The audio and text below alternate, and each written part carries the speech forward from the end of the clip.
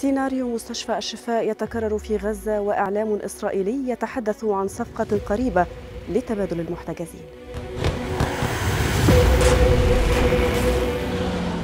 بعدما عاش العالم أياما صعبة وهو يتابع الهجوم الإسرائيلي على مستشفى الشفاء في غزة واللحظات المرعبة التي عاشها المرضى والنازحين وحتى الأطباء الموجودين بالمستشفى نجد أنفسنا اليوم في مواجهة سيناريو شبيه ينذر بكارثة إنسانية جديدة في المستشفى الإندونيسي.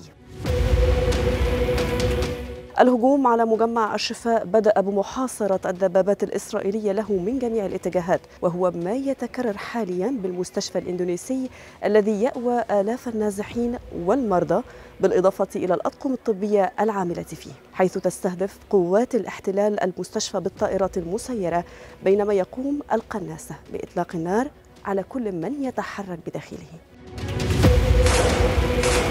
القصف الإسرائيلي للمستشفى استهدف عدة نقاط منها طابق عيادات الجراحات وهو ما أسفر عن تدمير الأجهزة الطبية وسقوط عدد من القتلى بينهم مرضى كانوا يتلقون العلاج بداخله. في حين قامت الإدارة بإخلاء ساحات المستشفى ونقلت النازحين إلى داخل الأبنية لتجنب سقوط المزيد من الضحايا.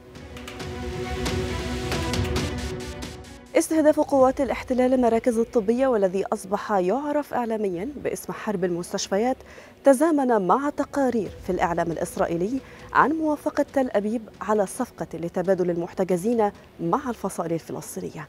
بينما أشارت تقارير أخرى إلى أن جيش الاحتلال يسرح الآلاف من جنوده ليعودوا إلى سوق العمل في ظل خسائر اقتصادية تقدر بأكثر من ملياري دولار شهريا جراء الحرب في غزة.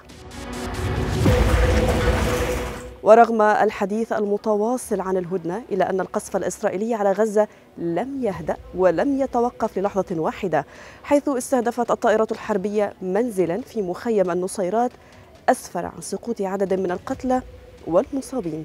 كان أغلبهم من الأطفال والنساء.